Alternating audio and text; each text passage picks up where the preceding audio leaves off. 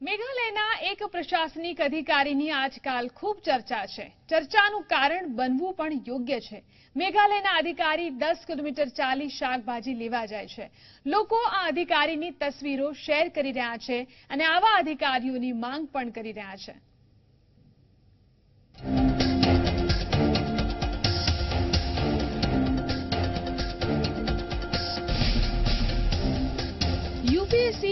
એવી પરીક્ષા જેમાં સફળ થવા યુવાનો એડી ચોટીનું જોર લગાવી દેતા હોય છે. દેશ દુનિયા ભૂલી દિવસ રાત તૈયારી કરતા હોય છે. દરેક માતા પિતાનું સપનું પણ હોય છે કે તેનો દીકરો અથવા દીકરી આઈએસ અને આઈપીએસ બને. અને દિવસ રાતની તૈયારી બાદ જ્યારે તેઓ પરીક્ષા પાસ કરી ફિલ્ડમાં જાય છે, ત્યારે સામે આવે છે રામસિંહ જેવા અધિકારીઓ.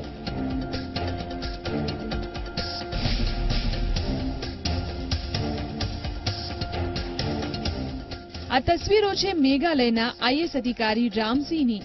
સોશિયલ મીડિયા પર હાલ તેની ખૂબ ચર્ચા છે. તેનું કારણ છે કે તેઓ દસ કિલોમીટર ચાલી શાકભાજી ખરીદવા જાય છે.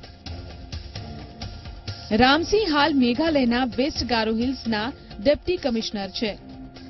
સોશિયલ મીડિયા પર આઈએસ રામસિંહના ખૂબ વખાણ થઈ રહ્યા છે. તેઓ ઓર્ગેનિક શાકભાજી માટે દર અઠવાડિયે દસ કિલોમીટર ચાલી શાકભાજી લેવા જાય છે. તેઓ એક સાથે વીસથી પચીસ કિલો શાકભાજી ખરીદી લે છે અને તે પણ સ્થાનિક લોકો પાસેથી. તસવીરમાં તમે તેમની પીઠ પર વાંસની ટોકરી જોઈ શકો છો, જેમાં તેઓ શાકભાજી રાખે છે.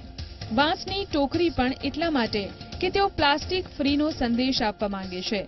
આ વાંસની ટોકરી સ્થાનિક લોકો દ્વારા બનાવાઈ છે, જે સ્થાનિક લોકોને રોજગારી મળી રહે તે માટે છે. રામસિંહ છેલ્લા છ મહિનાથી ચાલીને જ શાકભાજી લેવા જાય છે. તેની પાછળનું કારણ એ છે કે ટ્રાફિકની સમસ્યા ઓછી થાય અને પ્રદૂષણ પણ ઓછું ફેલાય.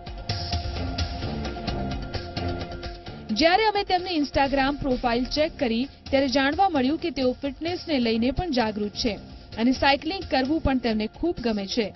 તેમના ઇન્સ્ટાગ્રામ પર એવી ઘણી તસવીરો છે, જેમાં તેઓ સ્થાનિક લોકો સાથે ખેતરોમાં, જંગલોમાં કામ કરતા દેખાય છે. આવા પ્રશાસનિક અધિકારીઓ જો દરેક જિલ્લામાં આવી જાય તો દેશમાં અનેક સમસ્યાઓનું સમાધાન આવી જાય. Bureau report Zee media.